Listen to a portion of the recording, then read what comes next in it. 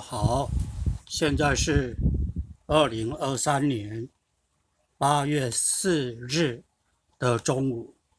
哦，不晓得大家有没有注意到，最近手机或者笔电、电脑上的广告，我不晓得电视上的广告是不是也有，就是很多要人家投资股票的广告啊。哦，其中有一个广告还说，呃，当冲稳赚不赔。哦啊，也有一些什么，哦，很很有磁性的声音。大家好，我是 David 他妈。哦，大家还记得哦，十十块的音乐达哦，然后一直涨，我介绍了之后一直涨，一直涨。一直涨涨到哦一百多哦，让你爽赚三倍两倍哦。大家好，我是 David 他妈。我说，哎，这些人到底在搞什么鬼啊？什么叫做当冲稳赚不赔？哦啊，什么叫做我是 David 他妈？哎，金钱这种事情。是关乎一个人生死的大问题呢，这是大事啊！只要跟钱有关的都是大事啊！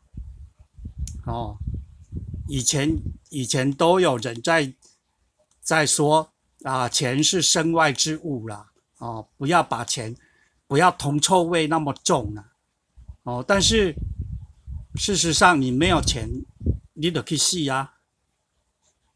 哦，所以你怎么能够说钱不重要呢？哦，然后你看，你要你说你要教人家带人家去赚钱，然后你跟人家说你叫做 David 他妈，哦，就是你你干嘛用一个英文名称啊？这么重要，关乎一个人生死的问题，你应该把你叫什么，你姓什么讲出来。你要让人家知道你是谁，何况即使你把你的名字讲出来，你说我叫做陈陈诺陈诺诺，好吧，不行诺诺这个这个陈诺诺这样也不知道你是谁哦。你说我叫陈轩玉，哎，这样也不不一定靠谱呢，可能是改名啊，之前可能前科累累。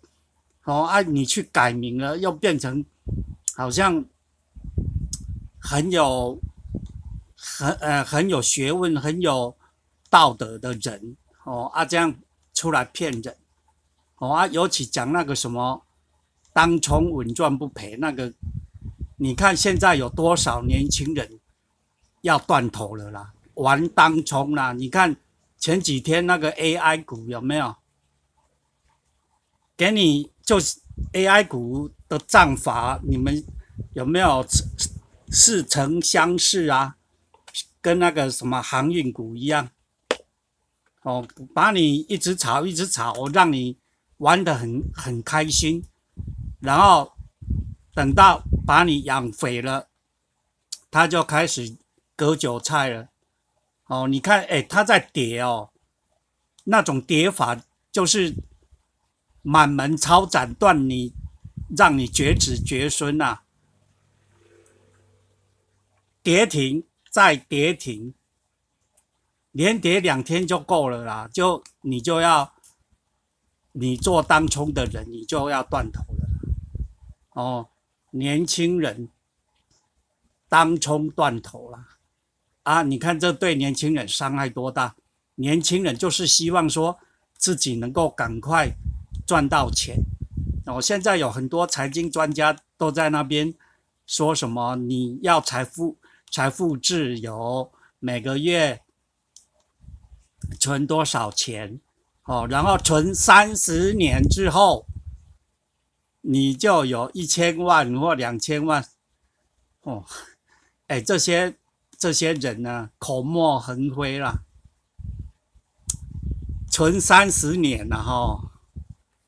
哎，哪个年轻人能够能够这样乖乖的给你存三十年阿你的动这这个这个年轻人，这三十年内，哦，父亲不会生病，母亲不会生病，哦，啊，他自己也不会发生车祸，不会撞死人，不会把路边的或者马路上的保时捷撞凹了，哦，或者他跟他男女朋友哈不会有什么纠纷，哦，他不会跟其他人有什么纠纷起口角，哦，都平安无无事。哦，三十年来，他也不会被裁员，他也不会犯法，他也不会酒驾，哦，啊，顺顺利利，哦，每个月存一万，哦，复利计算，哦，那赚到了利息又又继续存，哦，啊，钱滚钱，哦，复利的力量比原子弹还厉害，哦，然后三十年后他有一千万或两千万，这是在讲什么啊？事实上，一个人的命运就是怎样？哦，人以前人家说台湾是三年一小乱，五年一大乱，台湾就是这样啊。台湾的历史是这样，台湾人的命运也是这样啊。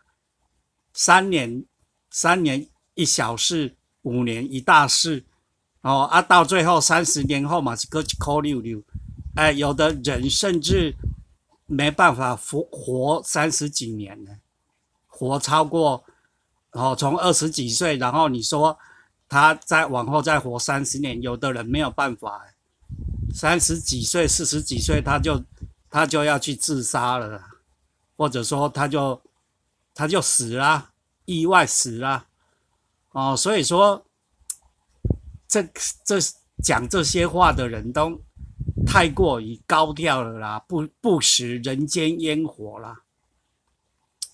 你看哦，二零零三年出现了什么零零五零 ETF 啦？有没有注意到那个年份？二零零三年，阿扁、陈水扁执政，台湾人自己当家。当总统，这个时候才出现二零零三年，然后这个台湾五十啊，当时刚出来的时候很便宜哦，好像好像一张就是一万块或两万块而已啊。你看他，你看，你看现在多少了？现在一张要十二万呢。哦，今天我看好像要十二万哦。最高曾经到一张十五万哦，也就是说，你如果从零二零零三年那个时候很便宜，很便宜，一张一两万买，好啊，你买个买个十张，你现在赚翻了，十张了哈啊，一张一张十三万，十张就一百三十万呢。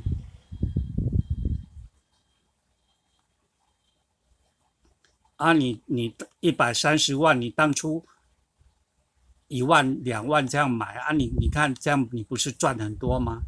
哦，啊，你如果买很多的人，从那个时候就不定期的常常买，你现在可能早就已经一二一两千万了。但为什么这么好的东西，二零零三年推出来的阿扁执政才出现，然后？哎，新闻媒体都不都不报道哦，没什么报道啦，也不宣扬啊。ETF 是最近这几年蔡英文当政之后，新闻媒体才开始大量报道。马英九执政的时候到底在干什么？不不给你宣导这个啊？也不鼓励成立 ETF 啊，所以说你要小心什么？年轻人呐，你要小心马英九执政的时候所上市的股票了。你看前一阵子很多很多那个股股票诈骗案有没有？你给他追追根溯源，你会发现。哎，这些骗人的、掏空的，把投资人骗得倾家荡产。这些股票成立的年年份都是马英九执政的时候，然后会让会让你稳稳赚、安全的赚、稳赚不赔的是民进党绿营执政时候成立的 ETF，而马英九执政的时候不宣传、不鼓励，哦，而马英九那个时候成出现的股票都都把你骗到倾家荡产，所以你要注意这一点啊！假外资玩死玩死台湾年轻人，假外资知道什么是假外资吗？就是所谓的国民党党产。国民党党产，它并没有被。他并没有被这个民进党政府没收、收归国有，没有啊，几乎没有啊，只有很少、很少、很少的一部分。你想想看嘛，你你现你觉得现在司法改革有没有成功？你觉得现在的这个转型正义有没有有没有做有没有做好？当年二二八大屠杀的凶手。有没有人被被公布了？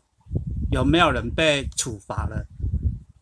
白色恐怖的冤案，这个加害人有没有被处罚了？通通没有嘛？这些都转型正义没有，那你你怎么会相信说国民党的不当党产都已经被？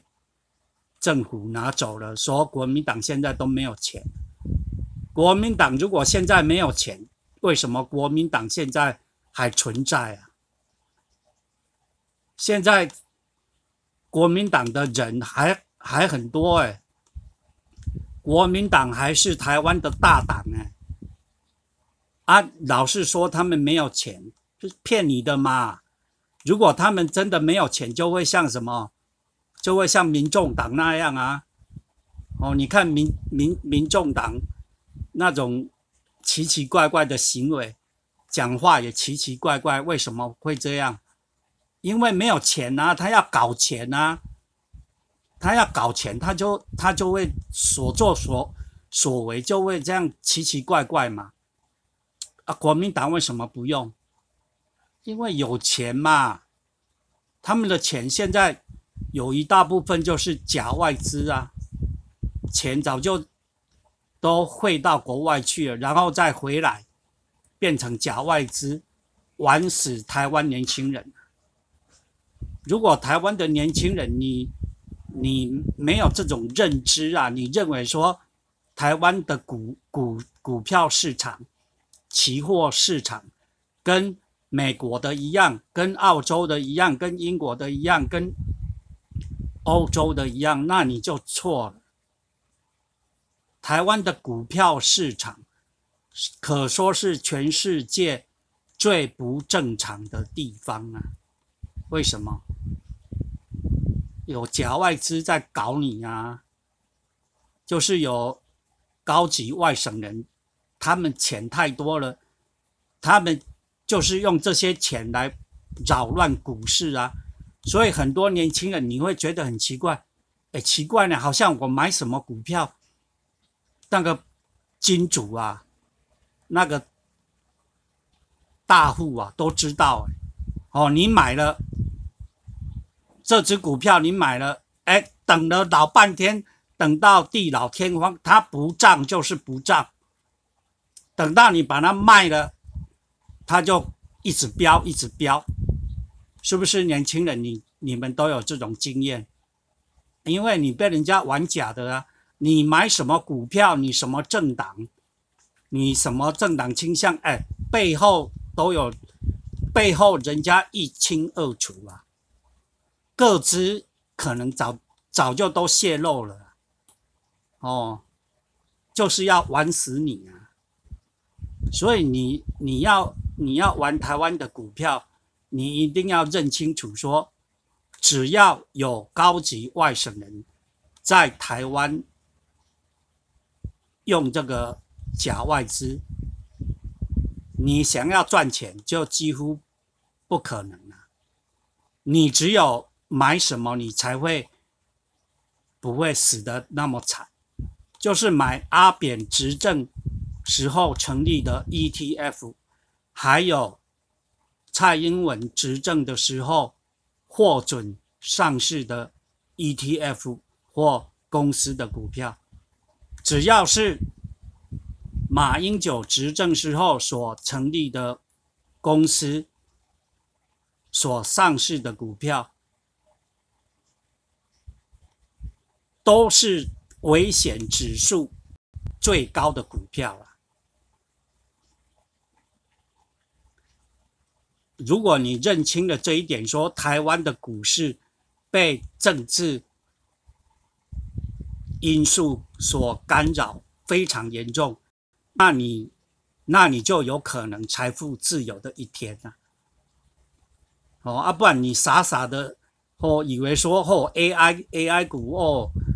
一直飙，一直飙，然后你看那个媒体上，哦，都一直有那个名嘴出来说，AI 就是未来的趋势啊，所以买买 AI 股票，即使跌个两三，跌个两天也无所谓啊，你就放着嘛，放着，将来它一定会再涨涨上去，这是全世界人工智慧，这是全世界的趋势，没有错啊，是啊，没有错啊。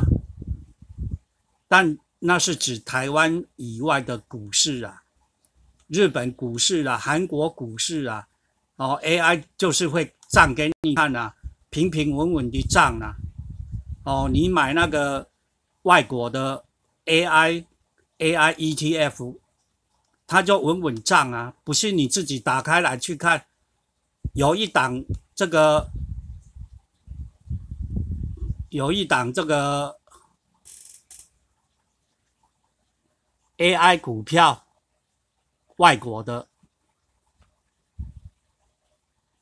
他就怎样？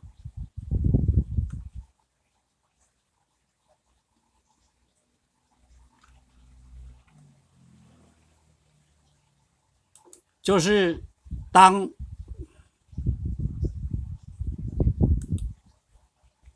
当台湾的当台湾的股的 AI 股。大跌的时候，哎，那个美国的 AI E AI ETF 还是涨啊，现在已经涨了五，我今天忘记看，昨天我看好像涨到三十五块了，哦，然后一个礼拜之前好像三十一块而已，现在已经涨到三十五块，哦啊，它在涨的时候，台湾的 AI 股跌的。跌停再跌停啊，人家也没有跌啊，人家还是在涨呢，所以说台湾是不正常的啊。为什么会不正常？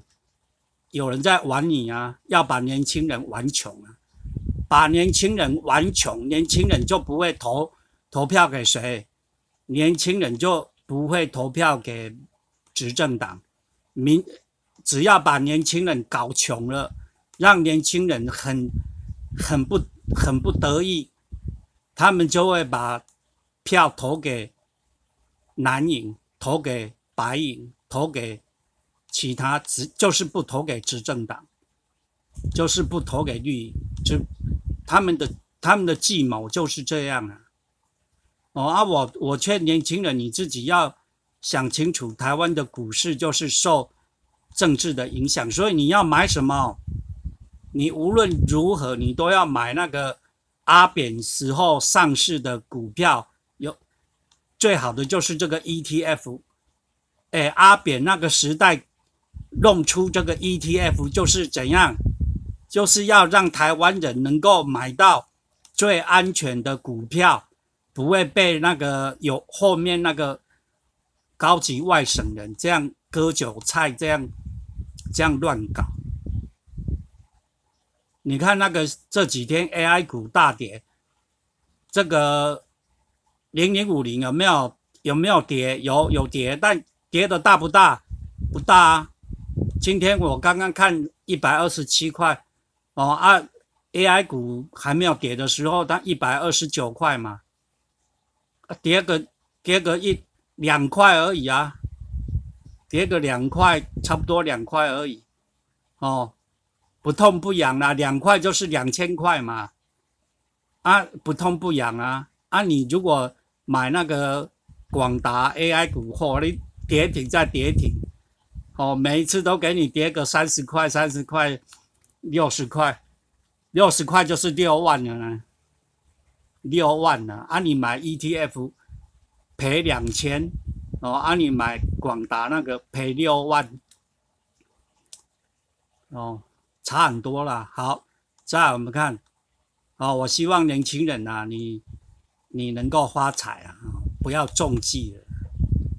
哦，再来。最后这一点呢，这这个是因为昨天发生了一件事情啊。哦，昨天要丢垃圾之前呢，哦，我我在我的客厅，哦，但是我突然间发现有一个绑马尾的小姐，穿黑色衣服，哦，然后她可能因为光线的关系啊，她不晓得说，我我客厅那个外面那个是玻璃。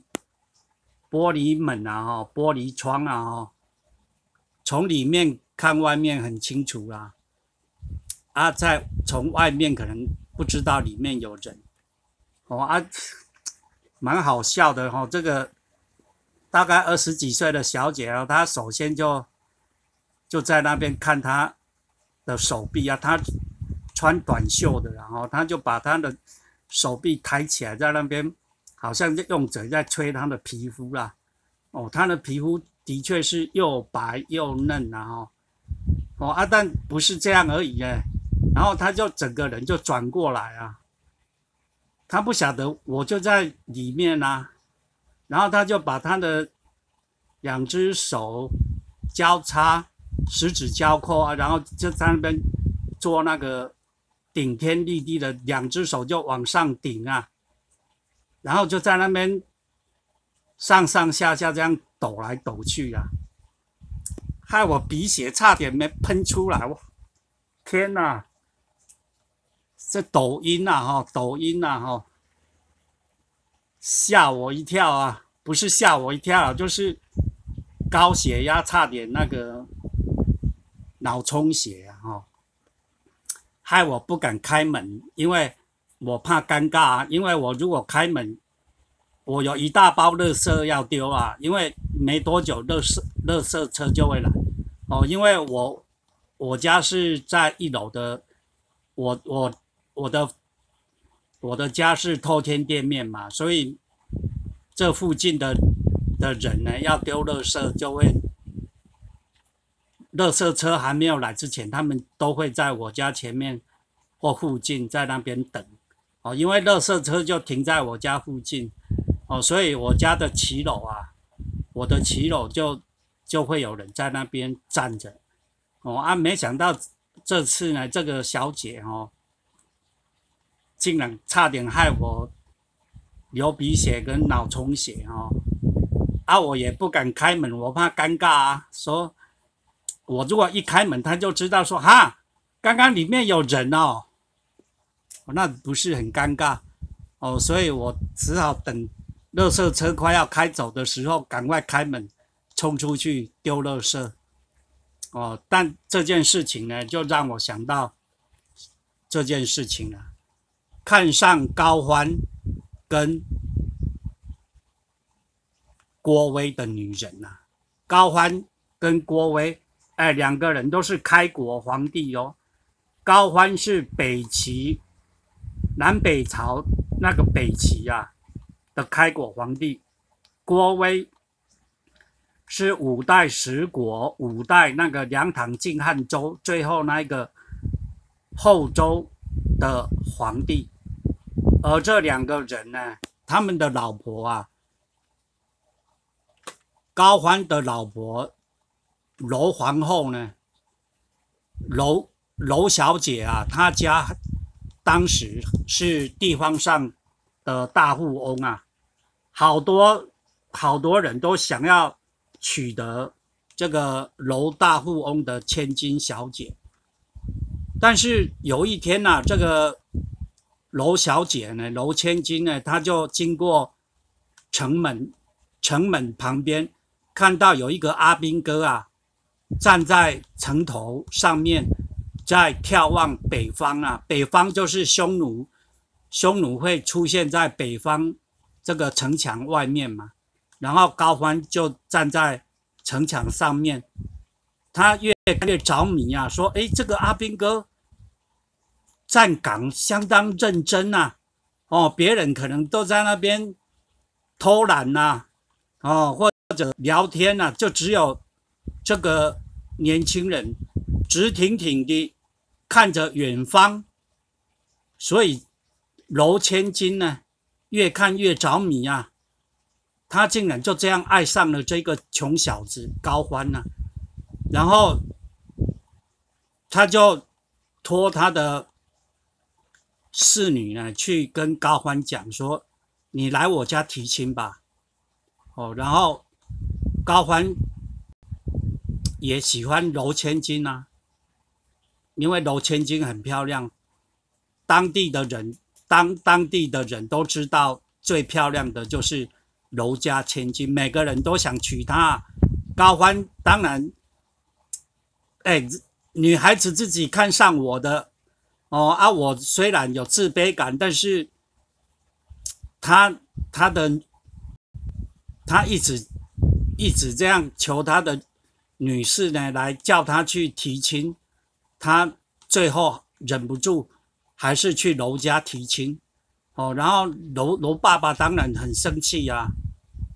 天哪，你只是一个守城门的这个阿兵哥，你连将军都不是，你也不是军官，你就是一个二兵，没钱的穷光蛋的二兵哦。高欢的高欢的家很穷啊，你要娶楼最大富翁的千金小姐。有没有搞错啊，先生高先生？你有没有发烧啊？哦，你是不是每天站在城头上被那个沙漠的暴风吹傻了？哦，这个楼千金呢，看看到爸爸这样嫌这个高欢就很紧张，偷偷的就他的婢女呢送了很多这个金银。金银首饰啊，跟钱财，然后叫高欢说：“你就把这个不要告诉我爸爸，说是我给你的，你就偷偷拿着，那你就当做是自己要当做聘金哦，然后拿给我爸爸看。我爸爸看到你竟然有这么多金银财宝，搞不好就会答应了哦。哎，高欢就拿到平白无故拿到一大堆金银财宝啊。”哎，但高欢没有没有逃走，哎，没有说拿着楼家千金给他的金银财宝，哦，干脆一走了之，没有这样哦，他真的就是拿着这些金银财宝，然后去跟跟那个楼爸爸说，这个就是我的聘金，哦，然后当然讲了一堆谎话了哈，因为那个。罗爸爸也很惊讶，说：“哎，你只是当一个看看城门的士兵，你怎么会有这么多钱？”哦，然后高欢就编了很多谎言啊，说：“其实啊，哦，我们高家，哦，很久很久以前 也是大户，也是大富翁啊，哦啊，这个是我祖先留下来的啊，我爸爸妈妈叫我要低调，不要跟人家讲。”除非有一天你想结婚，你看到你心仪的女孩子，你再把这个拿出来当嫁嫁妆，或当聘当聘金的哦。结果罗爸爸真的相信了，哎，真的就把他的女儿嫁给高欢了。哎，没想到这个高欢真的不得了，这罗罗千金罗小姐真的眼光很好哎。高欢后来就当了北齐的开国皇帝呀。哦，然后郭威呢？郭辉的老婆啊，柴皇后啊，柴美美啊，哦，现在有一个柴经理有没有那个记女女记者哦，财经里那个财，木材的材，财财小姐有一天下大雨啊，她就往往那个门外看呐，往窗外往门口那边看，结果看到有一个只穿裤子没有没有上没有上衣的人啊，年轻人，然后。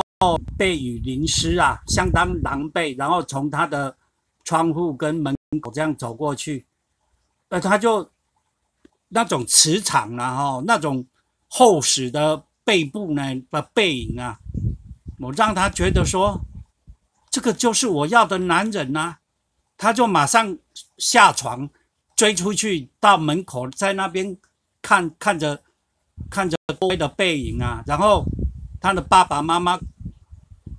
看到女儿不晓得在看什么，就探头去看，原来女儿竟然是在看一个没穿上衣的男孩子，哦，两个结实的屁股呢，这样摇来摇去，哦，这个三八啦，哦，他爸爸就很生气，哦，摸女儿的额头，看你有没有发烧啊？啊，发春了吗？怎么这样看着男人呢？哦，那柴柴小姐呢说，我不管。我要嫁给这个人呐，哦，我要嫁给这个人，然后就叫他爸爸赶快去追追那个追郭威啊，跟他说我要嫁给你，哦啊，这个爸爸妈妈熬不过柴小姐，哎，真的把 把女儿嫁给这样一个连上衣都没有的穷小子啊，哦，没想到这个郭威。后来去当兵了，因为穷困的年轻人大部分都会去当兵啊，就这样建立建立战功，最后成为皇帝呀。哦，所以这两个女孩子 不得了啊，她们看对人了，然后不晓得是是他们是有什么灵感，怎么能够眼光这么精准呢？哦啊，令人感叹的是。其实现在大部分的女孩子看到的都是假象啦，哦，以为说看准准的把她嫁过去，结果你看后悔莫及啊！你看嫁给陈陈轩玉就是 NONO 的那那个女的女人，现在不是说要离婚了吗？她当初是。到底是看上他哪一点？哦，令人想不透啦！哦，很多啦。现在最近传出性骚扰的、性侵案的这些这些男人，哦，他们都有妻子哎。然后我们可以说